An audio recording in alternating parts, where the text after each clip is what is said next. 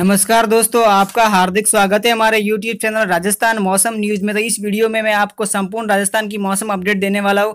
आज दोपहर के बाद में शाम तक बारिश कौन से ज़िले में होने वाली है, क्या आपके ज़िले में बारिश होगी तो वीडियो में कमेंट करके बताइए अपने ज़िले का नाम और साथ में आपको कमेंट में मैं आपको ज़रूर बताऊँगा आपके ज़िले में बारिश कब होगी। चलो वीडियो को स्टार्ट करते हैं।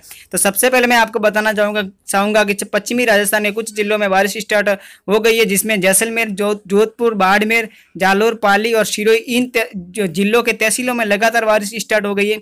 और पूर्वी की तरफ़ पूर्व की तरफ़ बात की जाए तो पूर्व में भी जयपुर, दूसरा और भरतपुर, सवाई माधोपुर, करौली और साथ में धौलपुर ज़िले में भी हल्की बारिश हो रही है और कोटा संभाग की बात की जाए तो कोटा संभाग में भी सुबह से बारिश से हल्की बूंदाबांदी तो कई स्थानों पर मूसलाधार बारिश शुरू हो सके, जिसमें बूंदी, कोटा, बारा, झालावाड़, इन चार जिलों में कई स्थानों पर हल्की बारिश स्टार्ट हो गई है। लेकिन देर रात तक यहाँ पर भयंकर और मूसलाधार बारिश हो सकती है। लेकिन दक्षिणी राजस्थान की बात की जाए, दक्षिणी राजस्थान में उदयपुर, राजसमंद, चित्तौड़गढ़, प्रतापगढ़, बांसवाड़ा, पाली, भीलवाड़ा, सिरोही जालोर, इन जिलों की बात की जाए तो इन जिलों में आज रात तक और देर रात तक ग्यारह से बारह बजे तक यहाँ पे भयंकर और मूसलाधार बारिश हो सकती है।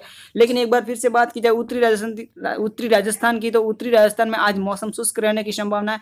यहाँ पर आपको हल्की फुल्की बारिश देखने को मिल सकती है कुछ तहसीलों में, लेकिन यहाँ पे आज आपको खंड में बारिश देखने को मिलेगी, कोई विशेष और बड़ी बारिश की कोई संभावना नहीं है। अगर आपको वीडियो अच्छा लगा तो वीडियो को लाइक, शेयर और सब्सक्राइब ज़रूर कीजिएगा। मैं अपने वीडियो को यहीं पे एंड करता हूँ। आशा करता हूँ आपको वीडियो अच्छा लगा। Like, share, subscribe. जय हिंद, जय भारत।